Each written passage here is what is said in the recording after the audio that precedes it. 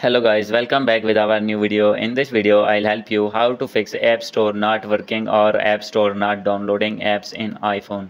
So guys, if you are using iPhone and want to download any kind of app through App Store and App Store is not downloading apps, then I'll help you how to fix this problem. So guys, you can easily fix this problem. So let's start without wasting any time. So guys, first of all, you need to open your App Store and guys, after this, you need to click on your main profile apple id profile and guys after this you need to scroll it down and here is the option of sign out. So guys simply you need to sign out uh, your apple id and guys you uh, now you can see that uh, apple id is removed from app store and guys after removing it you need to sign in again. So guys how can you sign in again? You need to open your app store again and guys after this you need to click on profile and here is the option of sign in with apple id and guys you need to click on continue. And guys wait for a few seconds. Here you can see so after waiting some settings so guys you can see that now apple id is signing in in app store. So guys after signing in this apple id uh, your problem will be fixed. So guys you can see that now apple id is successfully signed in in my phone. So guys after doing this your problem will be fixed.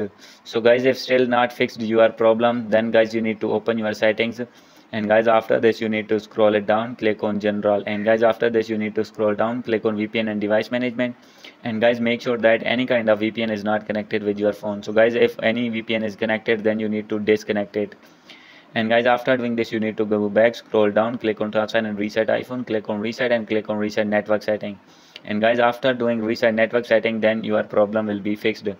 So guys if still not fixed your problem then you need to update your iphone to latest ios version so guys how can you check that that your phone is updated or not? So guys simply you need to open your settings scroll down click on general and guys click on software update. And guys make sure that your phone is updated. So guys here you can see my iphone is up to date to latest version ios 17 so guys if you are using less version means 15 or 15 point something or 16 or 16 point something then guys you need to update your iphone to latest ios version 17 and guys after updating your phone then all the problems will be fixed in your iphone so guys hope you like this video. If you like this video please do subscribe comment and share. Thank you